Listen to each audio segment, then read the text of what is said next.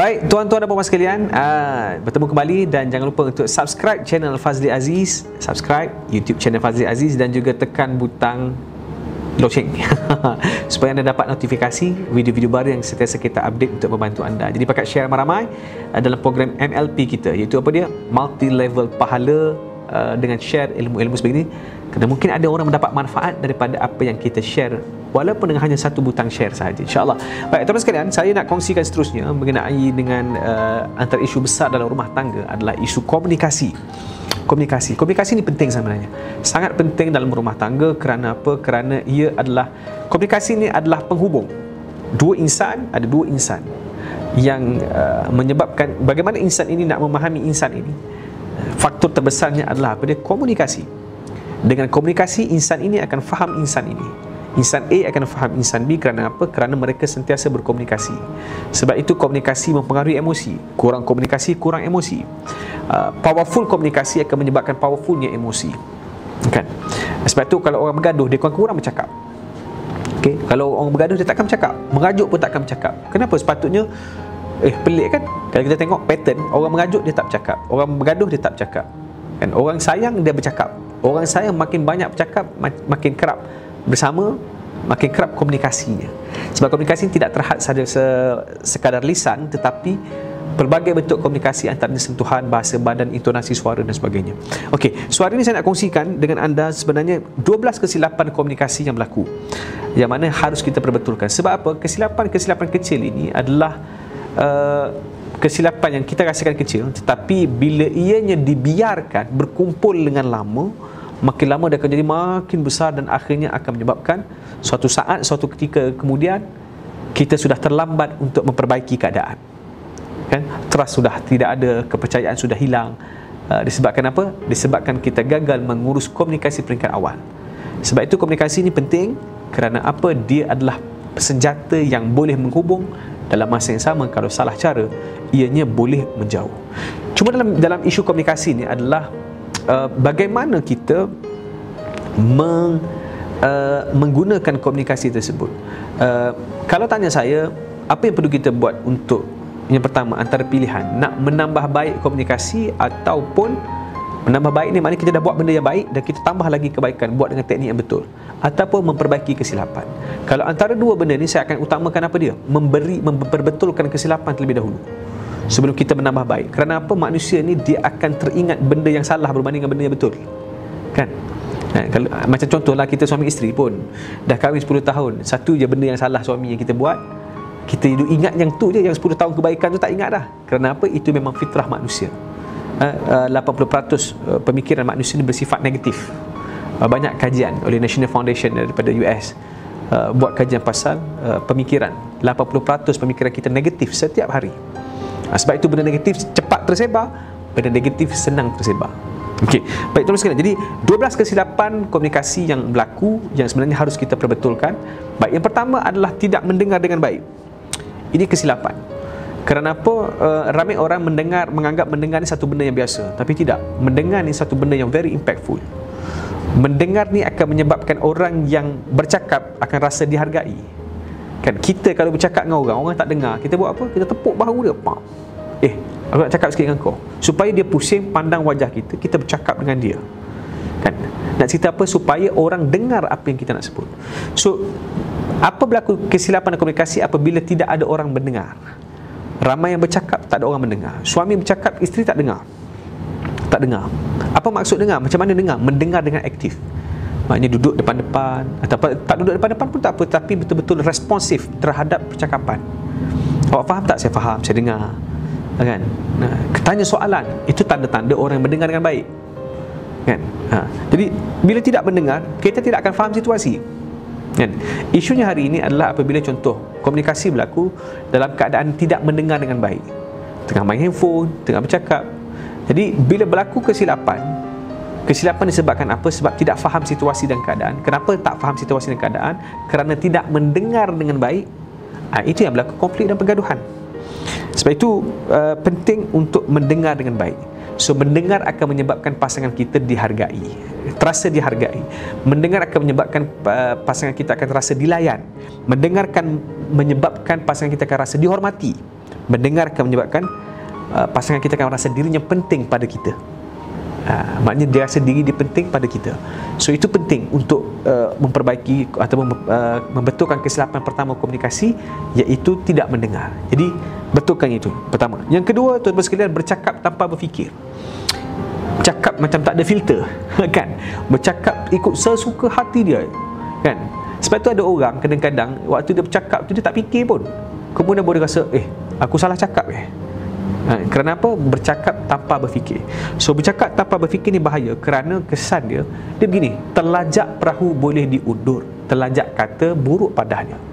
Sebab itu kata-kata ni kita tak boleh nak tarik balik. Ha, sekali kita terkeluar, sekali itulah kita akan teringat sampai bila. Saya pernah dalam satu ceramah, saya sendiri ceramahan. Saya tersalah sebut perkataan. Sampai sekarang saya ingat, saya malu dengan perkataan tersebut. Saya tak sebut kat sinilah. Saya malu dengan perkataan tersebut sebab kata saya tak patut saya ucap benda tu. Ha. Uh, sebab saya sebut tentang orang asli cerita. Ni macam orang asli. Rupanya dalam program saya ada orang asli. Saya malu sangat. Saya minta maaf dengan dia betul-betul. Saya minta maaf. Tapi kebersalahan terasa bersalah sampai sekarang saya terasa. Sampai sekarang saat ini. So uh, apabila kita tersalah kata bila bercakap tanpa fikir tersalah kata kepada pasangan. Pasangan akan terguris. Walaupun kita sudah minta maaf belum tentu dia dapat melupakan Memaaf belum pasti dapat melupakan. Jadi kadang-kadang dia simpan benda tu Dia simpan lagi, simpan lagi. Akhirnya apa? Setiap kali kita bercakap Kita lepas, lepas, lepas Terasa hati, terasa hati Berkumpul, terasa hati Akhirnya dia tawar hati. Bila tawar hati Maka runtuhlah rumah tangga. Ha, Sebab tu isu tentang kesilapan komunikasi ni Jangan biasakan dengan kesalahan. Kenapa? Bila dah terasa biasa Kita akan selesa. Sentiasa gunakan. Kita tak ada rasa apa Sebab kita pengguna ha, yang terkesan kita kita pengeluar kan? Yang akan terkesan siapa? Pendengar. Yang akan terkesan siapa? Mereka yang kita tujukan kata-kata tersebut. So itu akan menyebabkan uh, berlakunya uh, sakit hati yang disimpan. Akhirnya benda kecil jadi besar disebabkan apa? Disebabkan kesilapan yang telah kita biasakan. Yang ketiga tuan-tuan dan puan sekalian adalah apabila komunikasi kita ini bersifat keakuan. Aku is all about me aku kan? Kau tak faham betul perasaan aku. Kau tak pernah fikir pasal aku. Tengok. Kau tak pernah fikir pasal aku. Kau tak pernah faham tentang aku. Kan? So bila kita bercakap tentang aku, aku Perkataan eh, You ni I ha, Kalau aku ni I lah kan? Uh, Semua bila kita sentiasa sebut tentang I You sepatutnya faham tentang I. Kan? You sebenarnya tak fikir langsung tentang I. So dia lebih bersifat egocentrik tau. Dia mana semua tentang kita. Kan sepatutnya kalau kita guna nak gantikan habis tu Cik Fazil nak gantikan bahasa apa? Tukarkan tukarkan perkataan. Eh, kita ni kena saling memahami kita kena faham bersama. Kan lain you tak faham I. Kan? Uh, we have to work together untuk faham antara satu sama lain. I nak faham you dan you pun nak faham I. So kita work together ceritanya. Tapi bila kita kata masih aku kan uh, bila bersifat keakuan dia sebenarnya bila kita sifat bersifat keakuan cara berfikir kita juga keakuan. Sebab itu kita akan sentiasa menuntut hak kan? Menuntut hak dan uh, hak orang lain terhadap kita hak pasangan terhadap kita. Kan? Kita tuntut hak kita. Awak kena layan saya baik awak kena buat saya macam ni awak kena bagi hadiah pada saya macam ni macam ni macam ni. So bila kita guna perkataan aku aku sentiasa bermakna kita nak semua semuanya tertuju pada kita. Kita nak memberi belum tentu. So sebab itu tukar perkataan uh, tukar perkataan uh, kepada kita kepada kita. Sebab tu kalau anda perasan bila saya tulis saya guna suka, suka guna perkataan kita kerana apa? Supaya kita berusaha bersama-sama pembaca dan penulis sama-sama berusaha untuk menambah baik hidup dengan uh, menggunakan ilmu-ilmu yang dikongsikan. Baik yang keempat tuan dan puan sekalian adalah meninggikan suara kesilapan kita kadang-kadang contoh isteri mungkin nak ekspres pada suami dengan tegas tetapi kesilapan tegas uh, yang diekspresikan adalah dengan meninggikan suara. So bila tinggi suara apa berlaku ego suami tercalar dan ataupun suami bila tinggi suara uh, apa berlaku? Isteri terasa hati isteri terasa dimarahi isteri terasa tak dihargai. So kadang-kadang isu masalah dalam perbincangan ni adalah apa dia? Apabila berbincang dia suara dah tinggi Okey. Suara dah tinggi. Bincang. Saya nak bincang dengan awak. Dah lama dah kita ada masalah macam ni. Agak-agak kita boleh bincang dalam keadaan macam tu. Cuba tengok contoh macam ni. Awak, you, saya rasa kita kena bincang. kita kena selesaikan I tahu you banyak benda yang you tak puas hati dengan I I pun sebenarnya ada benda yang I rasa I kena tegur you kita baiki diri sama-sama tengok teknik saya gunakan tadi. So bila kita gunakan nada sedemikian apa berlaku? Dengan nada yang rendah. Nada rendah ni nada memujuk. Nada rendah ni nada tenang. Nada rendah ni nada menguasai keadaan. Ha, jadi tak semestinya bila kita marah pun sebenarnya marah pun tak semestinya suara tinggi. Kan? Marah tak semestinya suara tinggi. So sebab itu jaga nada suara. So bila komunikasi gunakan nada yang sesuai pada waktunya dan mengikut ekspresi emosi yang betul. Baik, teman-teman sekalian. Seterusnya yang kelima. Komunikasi bukan lisan yang negatif. Ada apa kena perbaiki? Eh, kerana apa? Kerana komunikasi bukan lisan uh, yang negatif, dia akan beri maksud negatif. Kan? Saya bagi contoh. Abang, abang tolong saya, abang ambilkan benda tu. Nampak tak tangan macam ni? Uh, subconscious akan baca bahasa badan ni bila macam ni seolah-olah macam menguasai. Saya bagi contoh kan. Abang-abang ambilkan tu bang? Uh, apa ni? Uh, apa ni bahan bahan tu tolong ambilkan untuk saya bang? Tu bahan tu. Ha, macam ni lain macam ni lain macam ni lain. Ha, walaupun bahasa dia kata tolong tapi bila macam ni bang tu tu tu tu tu yang tu yang tu yang tu, yang tu. Ha, kadang-kadang dia boleh mencederakan emosi suami. Sebab apa? Bahasa badan bahasa badan. So bahasa badan yang negatif ni kena berhati-hati. Uh, kerana apa? Kerana dia juga boleh memberikan kesan kepada pentafsiran oleh minda kita. Contoh lagi bahasa badan adalah apabila kita tak kongruen dengan bahasa badan kita kan. Contoh, awak suka tak benda ni? Saya tak suka. Uh, saya suka. Saya suka. Saya suka. Tapi cara cara jawab macam saya buat tadi uh, okey sebab apa? Bahasa badan dengan emosi dia selari. Tapi bayangkan macam ni. Awak suka tak? Suka. Ambil lah, ambil. Tak apa Saya suka. Kau awak lah. Kan? Nampak tak? Bahasa badan Ekspresinya tak suka. Walaupun dia kata dia suka Awak ambil Ambil. Ha, Peranan bahasa badan. So bahasa badan ni sebenarnya Tafsirannya lebih kuat Kerana antara dari segi teori komunikasi Pengaruh bahasa badan lebih besar Daripada pengaruh perkataan. Okay, Seterusnya yang keenam.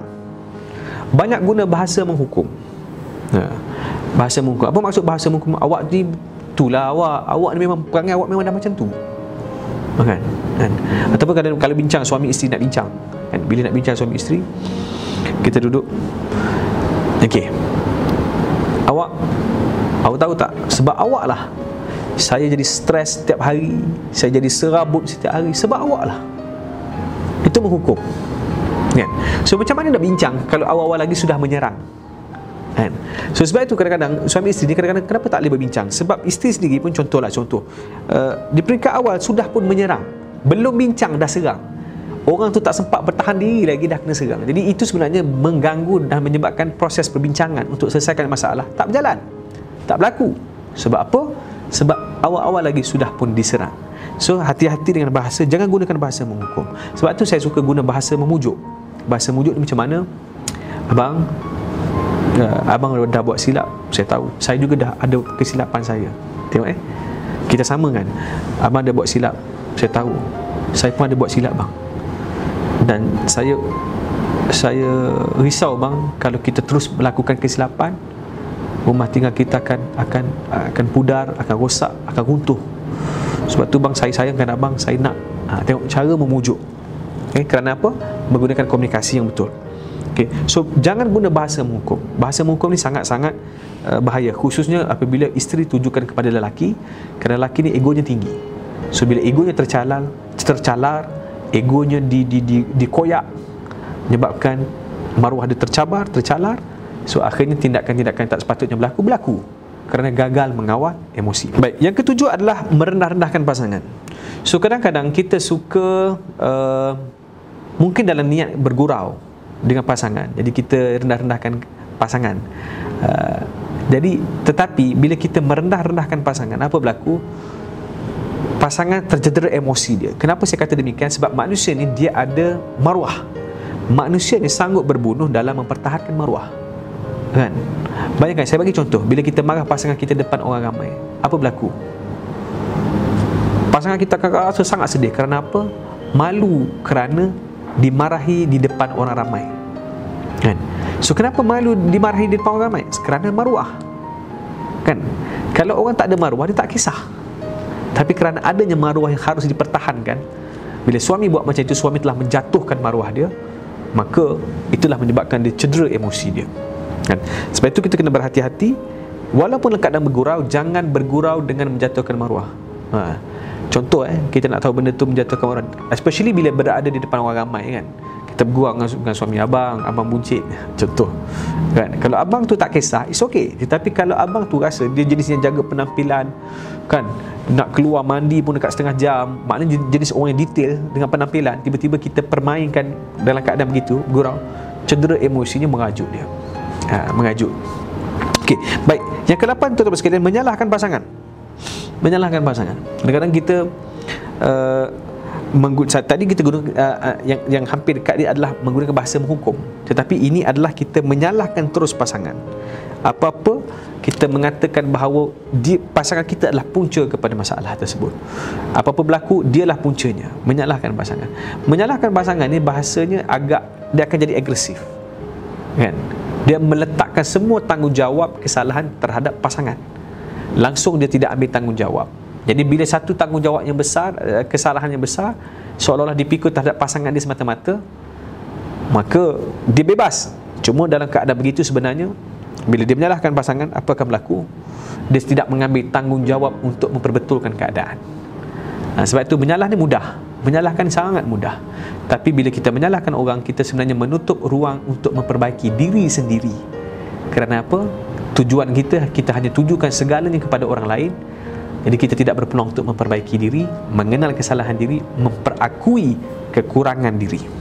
Baik, tuan-tuan sekalian Yang kesembilan uh, Yang kesembilan adalah uh, Ramai orang suka menunggu untuk difahami. Ya, kesilapan kita adalah menunggu untuk difahami. So sekarang ni jangan tunggu kita buat apa? Kita berusaha untuk memahami. So bila kita tunggu kita kita tunggu untuk difahami. Kan? Eh, takkanlah hidup 10 tahun tak faham-faham manusia kita takkan dapat memahami pasangan dia. Suami takkan dapat memahami isteri. Isteri tidak akan dapat memahami suami 100% walaupun dah kahwin 30 tahun 40 tahun. Kerana apa? Kerana manusia berubah. Sebab itu kita menunggu apa berlaku kita sebenarnya tidak memberikan kefahaman kepada pasangan kita untuk faham kita. Kita tak bantu pasangan untuk faham kita. Dan bila pasangan tak faham kita kita pun tak cakap. Kan? Bila kita pun tak cakap mana pasangan nak faham? Bila pasangan tak faham kita salahkan dia pula kerana tak memahami kita. So puncanya siapa? Puncanya kita. Kerana apa? Kerana kita menanti kita bertindak pasif kita tidak proaktif. Sebab itu dalam memahami pasangan penting untuk kita memberikan bantuan kepada pasangan untuk memahami diri kita. Ha, so hari ini kalau ramai kalau ada kalau kita menunggu memanglah uh, tidak akan ada berlaku perubahan. So jangan mengharapkan perubahan pada tindakan yang kita sendiri tidak ada perubahan pada tindakan kita. Okay? Ha, sebab itu berusaha untuk memahami berbanding menunggu untuk difahami. Baik, yang ke-10 tuan sekalian, antara kesilapan yang sebenarnya banyak dilakukan adalah mengungkit kisah lalu. Mengungkit kisah lalu ni memang antara yang paling pantang sebenarnya. Kan? Uh, mungkin salahnya sekali tetapi bila diungkit berkali-kali kecederaan yang dirasakan akan ber, ber, terasa berkali-kali sebab contoh eh, benda yang paling memberi kesan pada emosi kita inilah benda yang paling akan kita ingat kan dan kalau benda tu sakit, menyakitkan, bayangkan diulang oleh pasangan kita berkali-kali, maknanya kesakitan itu kita akan rasakan berkali-kali. Sebab itu bila sentiasa diungkit, contoh kalau suami buat salah, so isteri selalu ungkit. Suami akan makan dalam dan akhirnya suami buat keputusan ataupun benda yang sebenarnya isteri tak akan jangka. Kerana apa? Kerana sakit hatinya sudah mendalam. So, sebenarnya bila suami dah minta maaf, jangan ungkit lagi kisah tersebut. Ha, sama juga isteri pun sama juga suami pun kalau isteri dah minta maaf jangan ungkit kisah tersebut kerana mengungkit ini akan menyakiti eh? mengungkit ini tidak menyelesaikan. Buat kebaikan pun kita tak boleh nak ungkit. Apatah lagi bila orang tu buat jahat kita duk ungkit lagi. Sedangkan dia sudah bertaubat eh, sepatutnya kita maafkan insyaAllah. Yang ke sebelah saudara sekalian jangan banding-bandingkan pasangan dengan orang lain. Jangan bandingkan pasangan dengan orang lain. Kerana apa? Dalam komunikasi kita bila kita sentiasa membandingkan biasanya kita akan bandingkan benda yang lebih baik daripada apa yang kita ada itu masalah. Cuba kita bandingkan kita, uh, pasangan kita dengan orang yang lagi kurang daripada pasangan kita kita akan jadi orang yang bersyukur. Tapi sebab kita biasanya fitrahnya bila kita nak banding kita akan banding orang lebih tinggi. Uh, menyebabkan kita tak bersyukur. Jadi so dalam keadaan demikian apa akan berlaku. Bila kita banding sebenarnya kita tidak mengakui kelebihan yang ada pada pasangan kita. Bila kita tak mengakui kelebihan yang ada pada pasangan kita menyebabkan pasangan kita cedera emosi dia. Maknanya kita tidak menerima dia dengan seadanya. So bila kita dia rasa kita tak terima dia seadanya di banyak kelemahan kadang-kadang dia boleh bawa pada dua kemungkinan. Satu pertama dia akan perbaiki diri. Yang kedua dia akan bawa kepada tawar hati. Bawa kepada putus asa. Kerana apa? Dah tak boleh buat apa. Dah kau tak nak terima aku seadanya. Ikut kau lah. Kau nak pergi orang lain silakanlah contoh eh? Ha, baik tuan sekalian. Dan sebagai yang terakhir dalam 12 kesilapan komunikasi adalah sindir menyindir. Dalam nak tegur pasangan jangan sindir. Jangan sindir. Jangan menyindir. Keikhlasan dalam menegur ni tidak boleh digambarkan dengan sindir menyindir. Sindir menyindir ni dia ayat-ayat double meaning. Ini semuanya sebenarnya tidak menyelesaikan masalah bahkan menambahkan lagi isu menambahkan lagi masalah.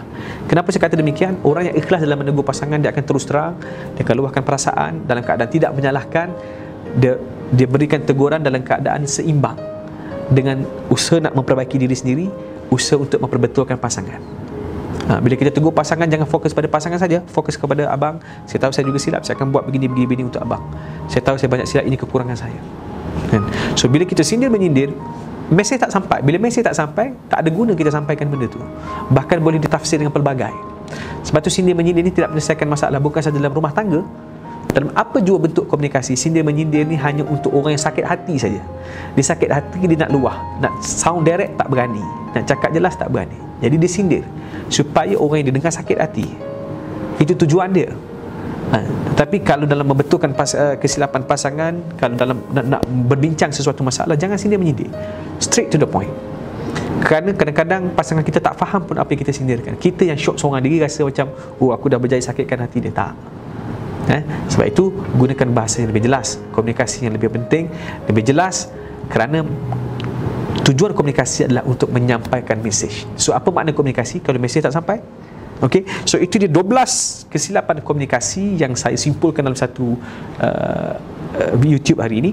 Satu dalam satu video ini supaya apa supaya kita dapat mengambil tindakan untuk memperbaiki komunikasi kita, memperbetulkan kesilapan. Jadi jangan lupa untuk seperti biasa subscribe channel ini tekan butang ni uh, butang bell tu okey kemudian masuk program apa? Uh, MLP multi level pahala. Sharekan benda ini. Sebab Nabi sebut adalu ala khairika fa'ilihi. Siapa yang tunjukkan kepada kebaikan dia akan dapat pahala seperti mana orang pembuat kebaikan. Dan tak berkurang sedikit pun pahala itu kepada pembuat. Dapat pahala lebih kurang sama padahal tunjuk saja.